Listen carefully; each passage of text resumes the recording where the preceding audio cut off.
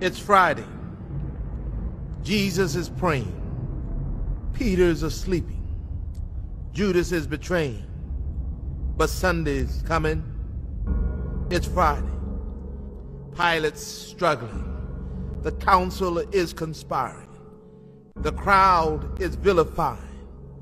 They don't even know that Sunday's coming. It's Friday. The disciples are running like sheep without a shepherd. Mary's crying. Peter is denying. But they don't know that Sundays are coming. It's Friday. The Romans beat my Jesus. They robe him in scarlet. They crown him with thorns. But they don't know that Sunday's coming. It's Friday. See Jesus walking to Calvary. His blood dripping. His body stumbling. And his spirit's burdened. But you see, it's only Friday. Sunday's coming. It's Friday. The world's winning. People are sinning. And evil's grinning. It's Friday. The soldiers nailed my Savior's hands to the cross. They nailed my Savior's feet to the cross. And then they raised him up next to criminals. It's Friday. But let me tell you something. Sunday's coming. It's Friday. The disciples are questioning what has happened to their king. And the Pharisees are celebrating that their scheming has been achieved. But they don't know it's only Friday. Sunday's coming. It's Friday. He's hanging on the cross, feeling forsaken by his father, left alone and dying. Can nobody save him? Oh, it's Friday, but Sunday's coming.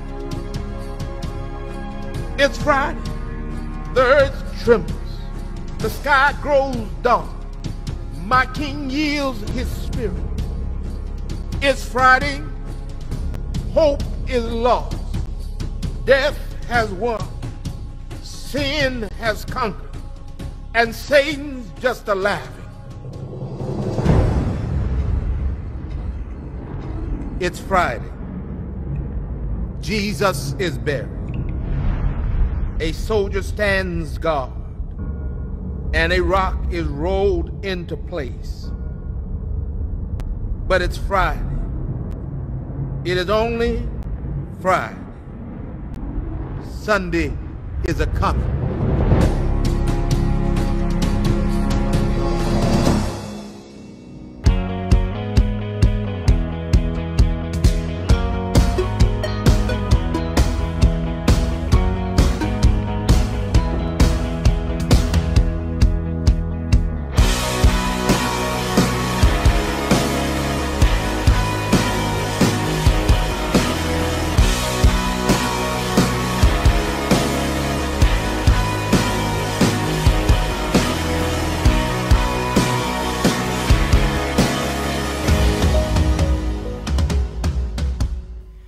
Morning. Welcome. Welcome to Waterfront Church. Thank you for allowing us to come into your homes this morning. This is Easter Sunday morning, and we celebrate with great joy the fact that the Lord is risen. Good Friday is gone. This is Easter Sunday, and we're going to enjoy a wonderful hymn as we begin our service this morning. And the hymn is Christ the Lord is risen today. Hallelujah.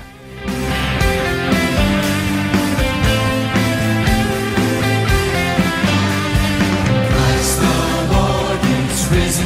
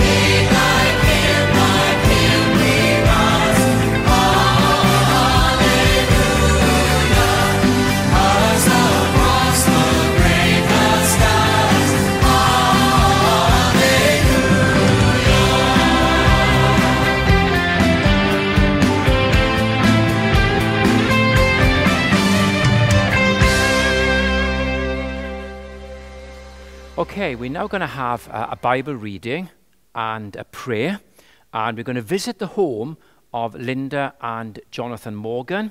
Linda's going to bring us the Bible reading, and Jonathan is going to pray. This morning's reading is taken from Matthew chapter 28, verses 1 to 10, and I'll be reading from the NIV. So it's Matthew chapter 28, verses 1 to 10. After the Sabbath, at the dawn on the first day of the week, Mary Magdalene and the other Mary went to look at the tomb. There was a violent earthquake, for an angel of the Lord came down from heaven and going to the tomb, rolled back the stone and sat on it. His appearance was like lightning, and his clothes were as white as snow. The guards were so afraid of him that they shook and became like dead men. The angel said to the women, Do not be afraid, for I know that you are looking for Jesus, who was crucified. He is not here he has risen, just as he said. Come and see the place where he lay. Then go quickly and tell his disciples, He has risen from the dead and is going ahead of you into Galilee. There you will see him. Now I have told you. So the women hurried away from the tomb, afraid yet filled with joy, and ran to tell his disciples. Suddenly Jesus met them. Greetings, he said. They came to him, clasped his feet, and worshipped him. And Jesus said to them, Do not be afraid.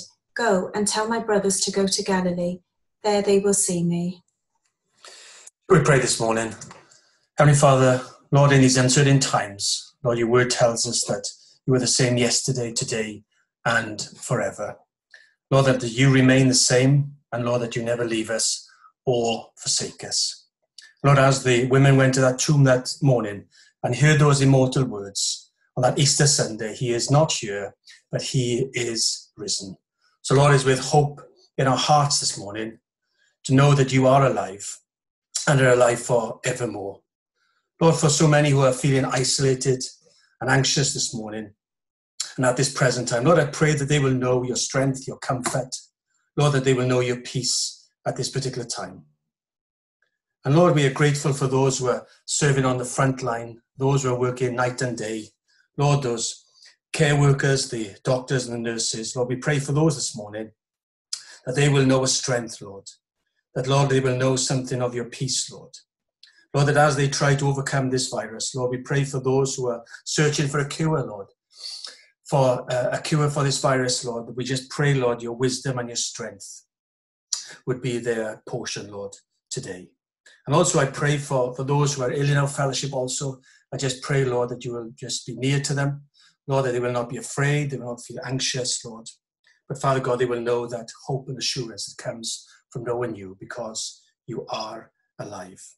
And so, Lord, we can say this morning, like in the words of that hymn, Oh, Father God, because He lives, I can face tomorrow.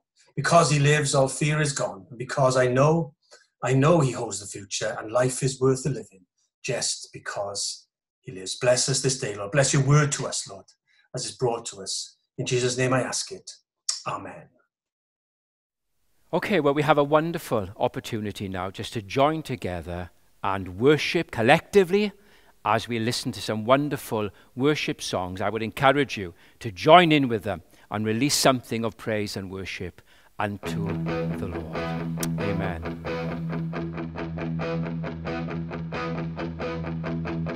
He has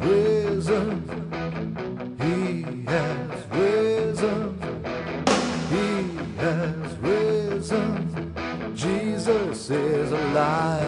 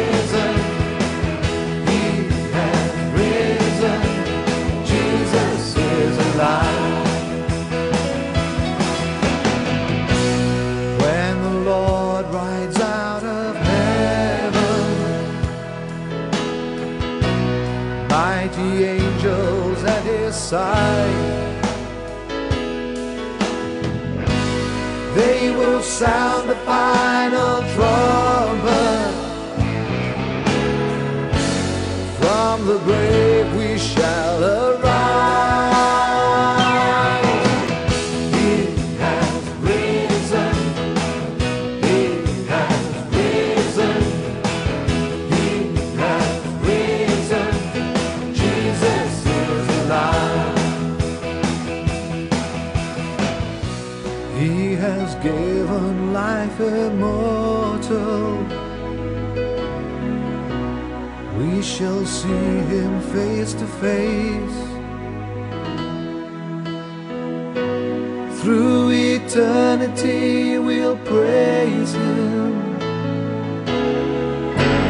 Christ the champion of our faith.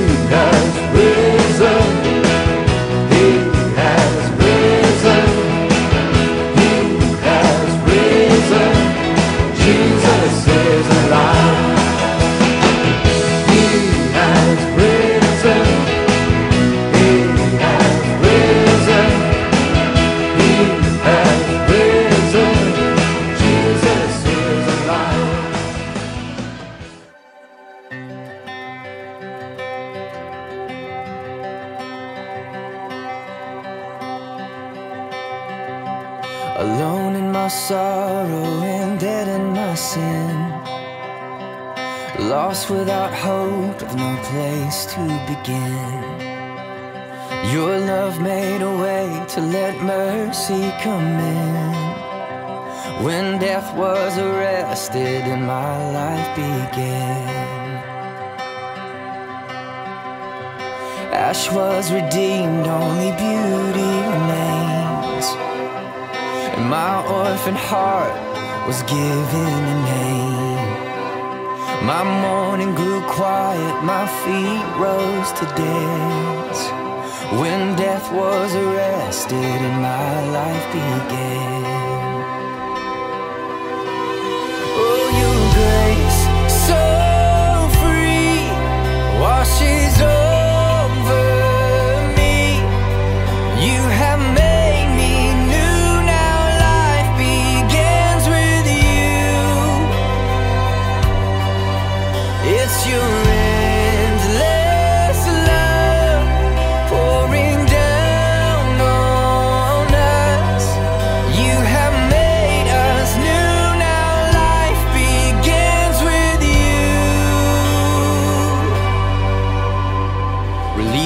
my chains, I'm a prisoner no more. My shame was a ransom he faithfully bore. He canceled my debt and he called me his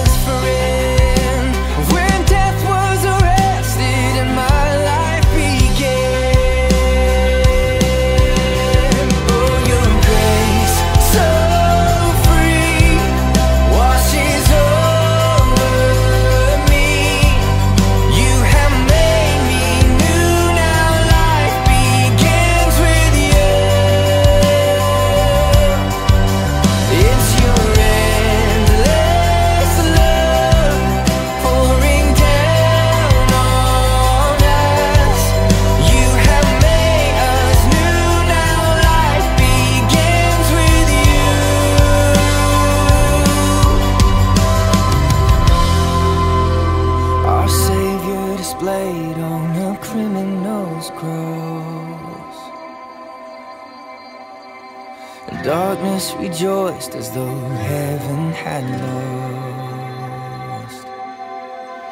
But then Jesus.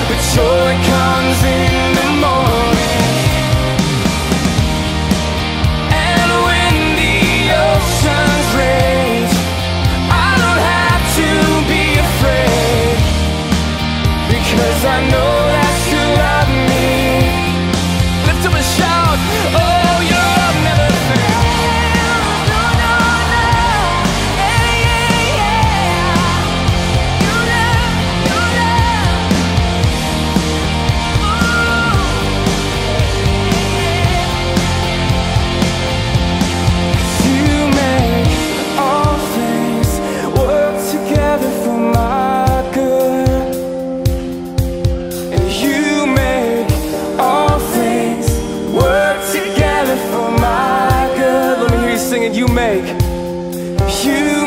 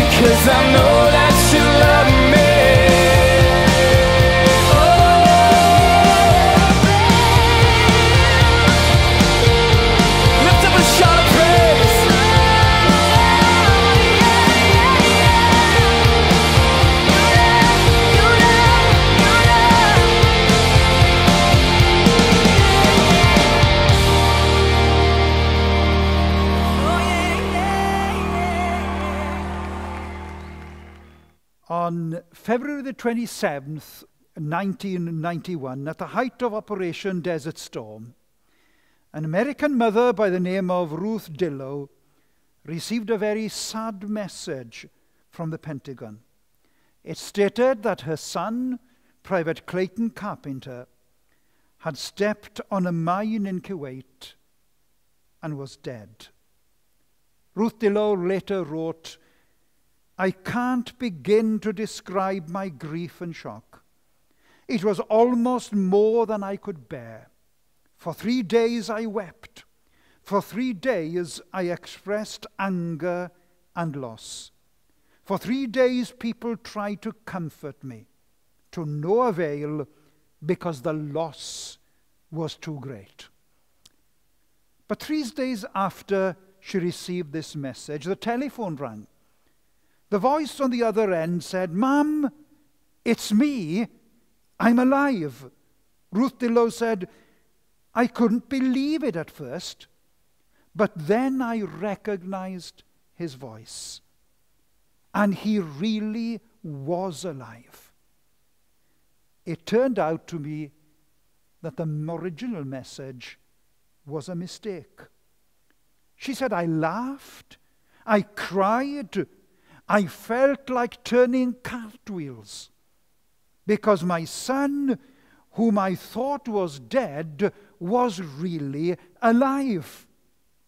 I'm sure none of you, she said, can begin to understand how I felt. I don't think any of us listening this morning have an idea of what that poor mother went through and felt during those agonizing days, and neither have any of us experienced her joy of three days later.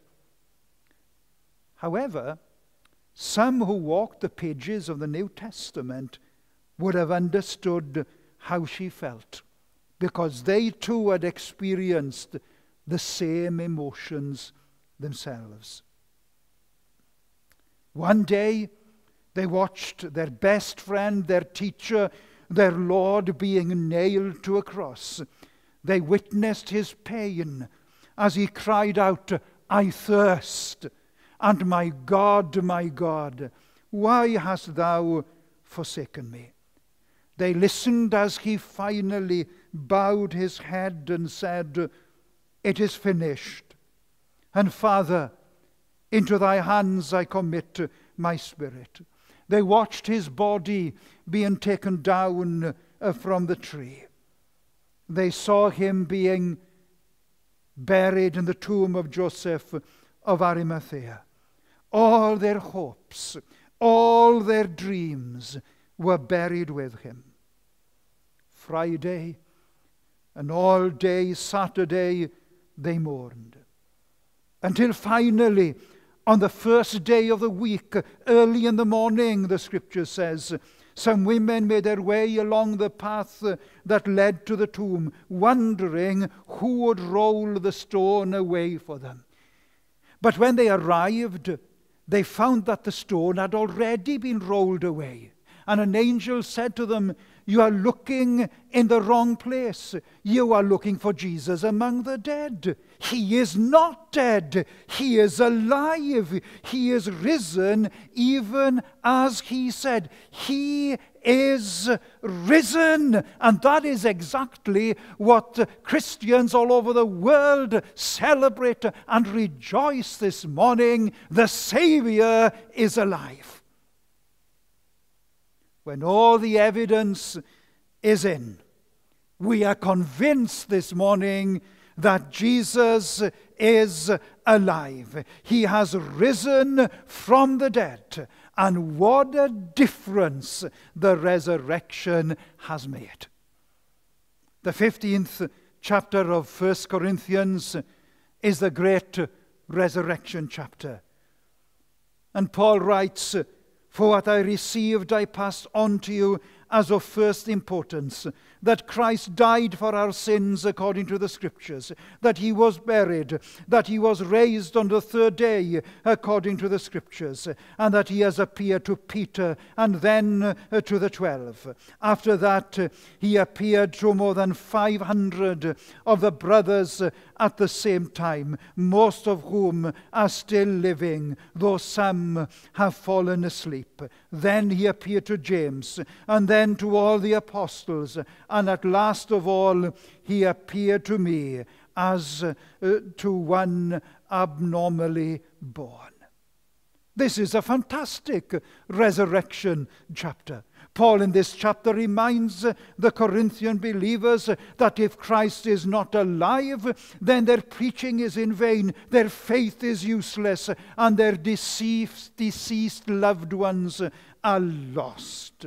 Their hope is gone. They themselves are liars, and they are still in their sin. But, says Paul, Christ has been raised from the dead. He says, For as in Adam all die, so in Christ all will be made alive.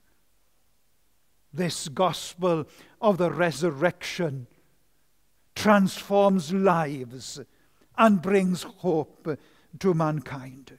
The angel said, He is not dead he is alive. He is risen, even as he said. Easter. What a difference it has made. You see, the resurrection is fundamental to the Christian faith.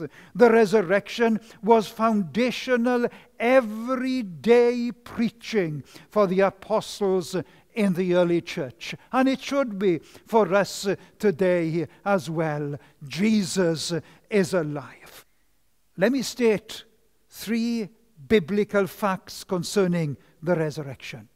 First of all, Christ's resurrection ensures our regeneration. Peter says, We have been born anew to a living hope through the resurrection of Jesus Christ from the dead. Here, he explicitly connects Jesus' resurrection with our regeneration or our new birth. Were it not for the resurrection, there would be no regeneration, no new creation. But thank God we have been born again because Jesus is alive. Then, secondly, Christ's resurrection ensures our justification. Paul says, was put to death for our transgressions and raised for our justification. When Christ was raised from the dead, it was God's declaration of approval on God's work of redemption. Hey, you and I this morning, we are justified before a thrice holy God because Christ has died and Christ has risen. Hallelujah. And thirdly, Christ's resurrection ensures that we will receive perfect resurrection.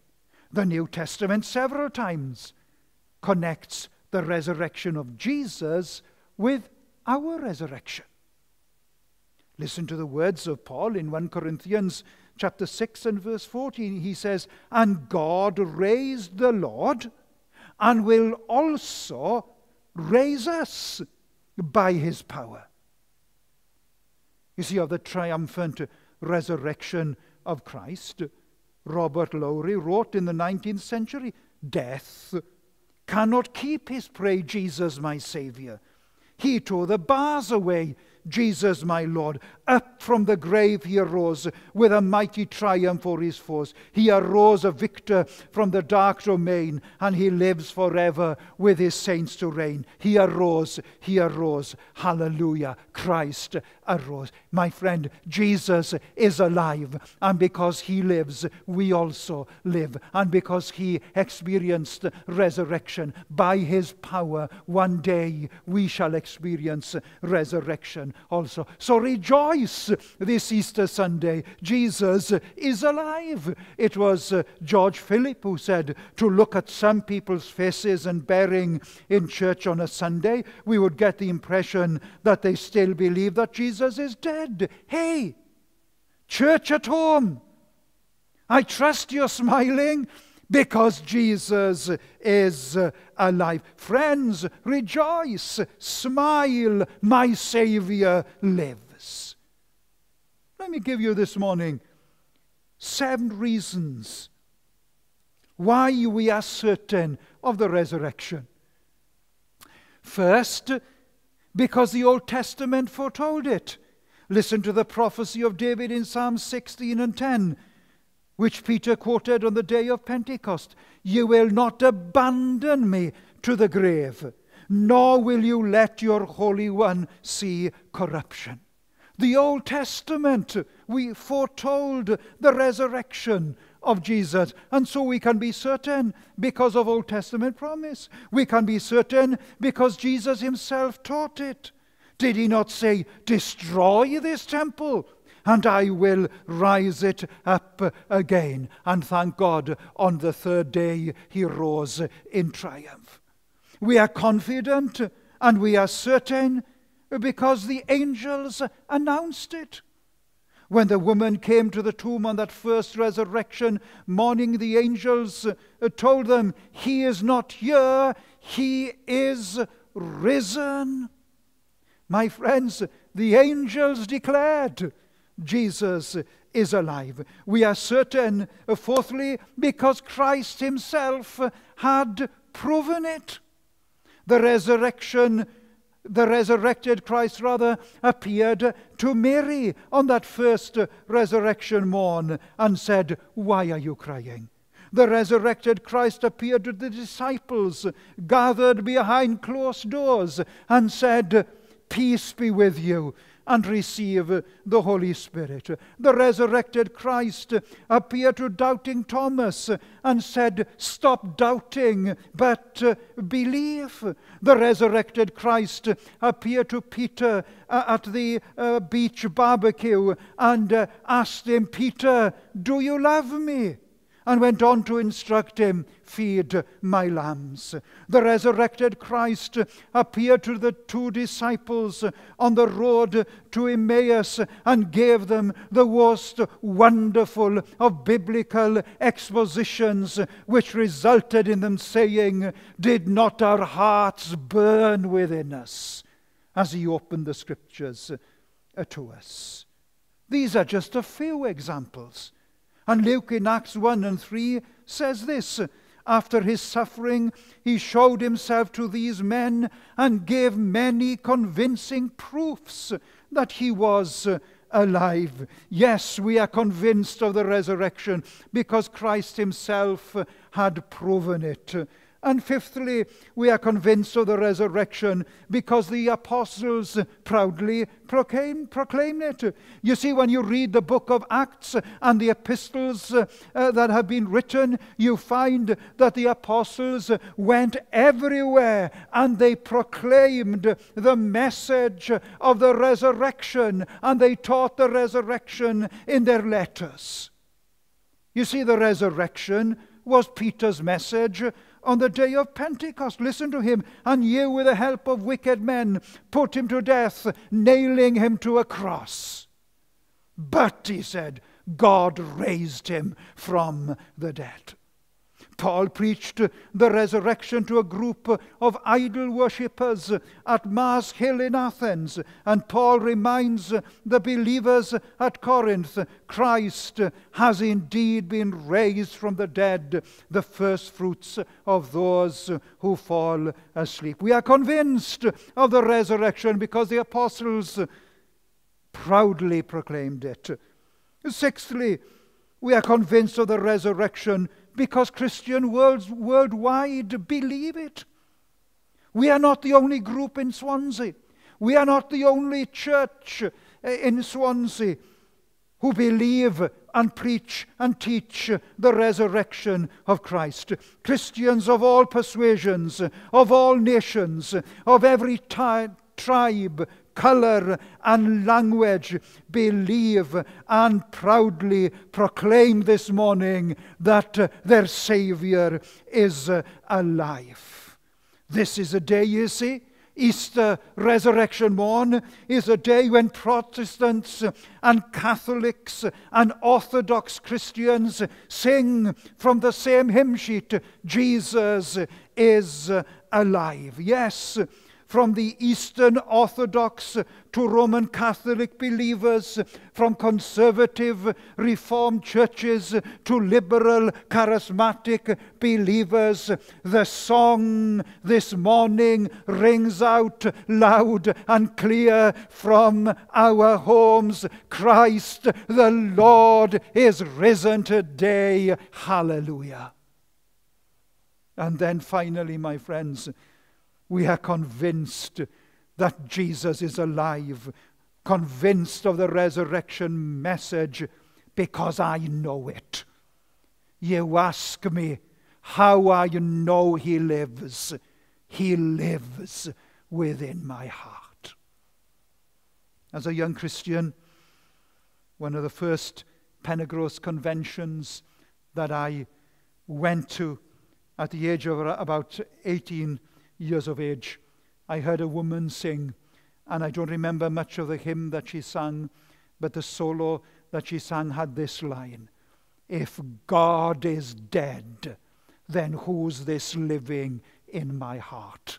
And I know He lives because He lives within my heart. From the age of 17 to 26, I worshipped at Carmel Apostolic Church in the village of Tumble. And every Easter Sunday, without fail, we sang hymn number 204 from that blessed reg book, the Redemption Hymnal. And these words of Samuel Medley is so appropriate for us on this particular Easter Sunday with all our anxieties regarding this pandemic. And with his words, I close my Easter message. He said, I know that my Redeemer lives. What joy the blessed assurance gives. He lives, he lives, who once was dead. He lives, my everlasting head. He lives to bless me with his love he lives to plead for me above. He lives my hungry soul to feed. He lives to help in time of need.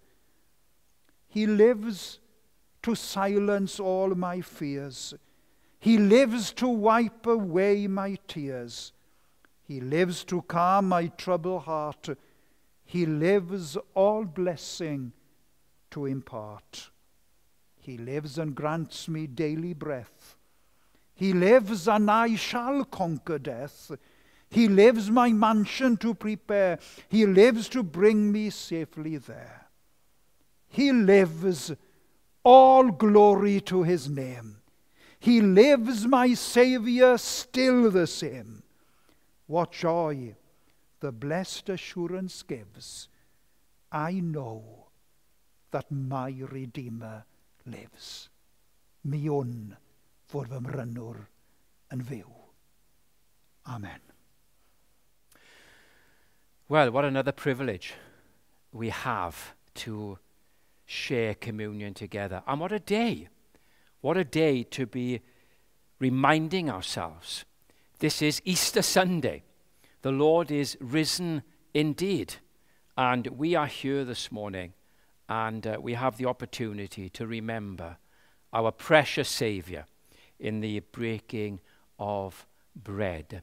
I want to read just a few verses from Luke's account. We're in Luke chapter 22, and uh, verse 14. And this is what Luke records for us. And when the hour came, he reclined at table, and the apostles with him. And he said to them, I have earnestly desired to eat this Passover with you before I suffer. For I tell you, I will not eat it until it is fulfilled in the kingdom of God. He took a cup. When he had given thanks, he said, Take this, divide it among yourselves. For I tell you that from now on I will not drink of the fruit of the vine until the kingdom of God comes. And he took bread, and when he had given thanks, he broke it and gave it to them, saying, This is my body, which is given for you. Do this in remembrance of me. And likewise the cup, after they had eaten, saying, This cup that is poured out for you is the new covenant in my blood. I love Luke's account there, and there are different interpretations where the Lord says, I have earnestly desired. Despite what was on the horizon, there was a longing, a passion, a desire to do this with his disciples. And what a profound act it is. And yet I'm amazed at its simplicity. Simple bread, simple juice, drop of wine.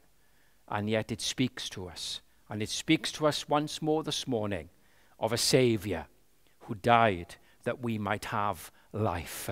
And this morning, resurrection morning, what a hope we have, a hope that excites us and a hope that thrills our soul.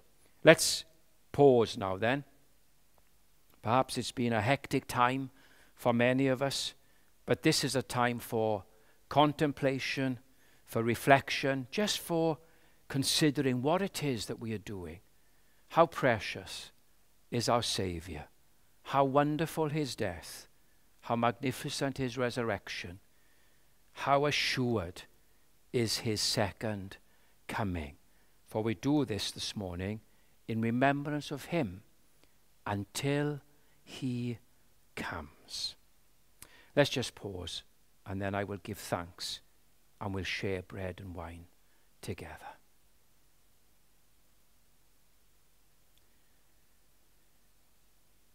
Father, once more we just thank you for the opportunity we have as we just gather together to remember you in the breaking of bread. And what a day on which to remember you. Easter Sunday, resurrection morning. Death could not keep its prey. Jesus, my Savior, he tore the bars away. Jesus my Lord. And this morning, we echo and we reflect on what you have done, and we tell you once more how much we love you this morning and what you mean to us in our lives. First, Father, we pray you'll bless the bread to us as we break and share it. Bless the wine as we drink it in remembrance of you. May we just this morning sense something afresh of what it means for what we are doing. With the hymn writer who says, What it meant to you, the Holy One. Make me understand it and help me to take it in. Do that this morning as we remember you in the breaking of bread. In Jesus' name. Amen. Amen. And on that night in which he was betrayed, he took the bread gave thanks, blessed it, and said to them, Take and eat, for this is my body, which is broken for you. Let us eat together in remembrance of him.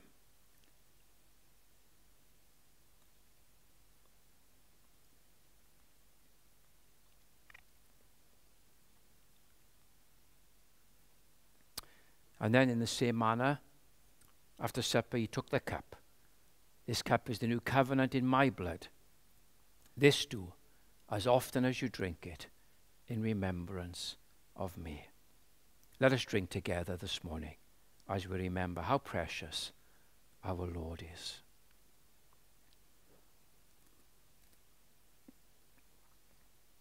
Thank you, Lord. Father, we thank you for the privilege once more of partaking of bread and wine in remembrance of you.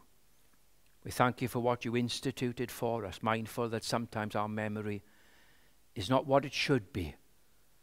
How could we forget you? And yet, Father, sometimes we can be prone to forget.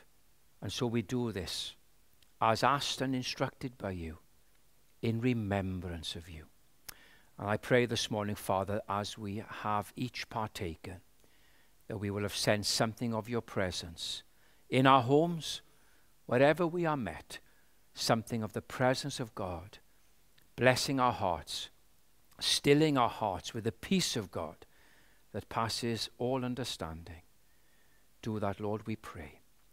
In Jesus' name. Amen. Well, thank you for joining us this morning for worship on this wonderful resurrection morn. And our closing hymn this morning is that hymn, The Greatest Day in History. Jesus is alive. Greatest day in history. Death is beaten, you have rescued me. Sing it out, Jesus is alive. The empty cross, the empty grave. Life eternal, you have won the day. Shout it out, Jesus is alive. He's alive.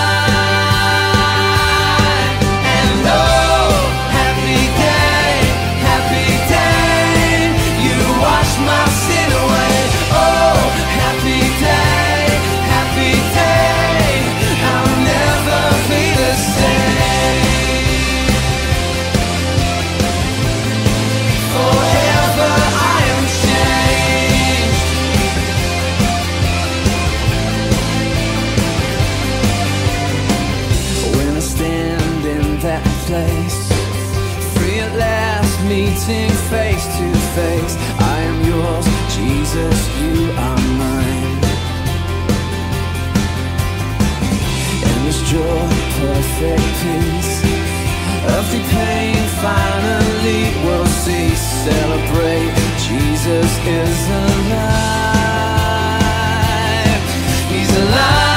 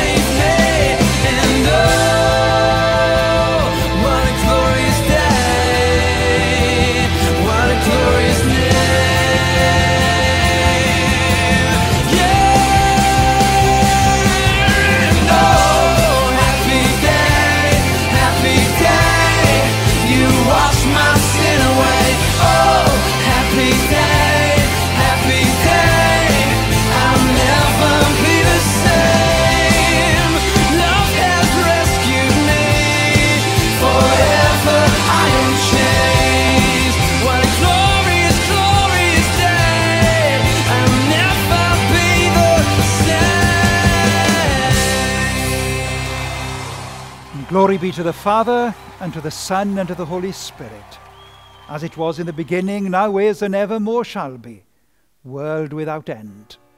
Amen.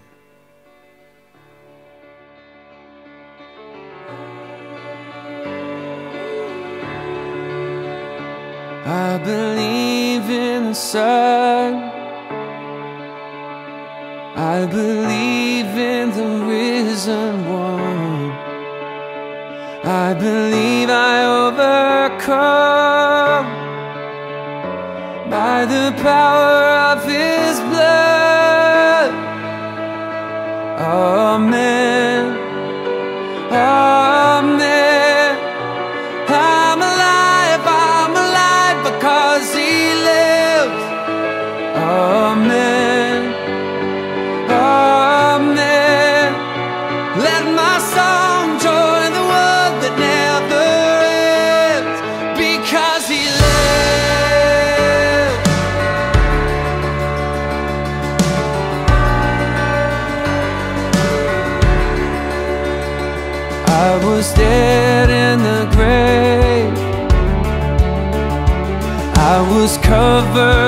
sin and shame. I heard mercy call my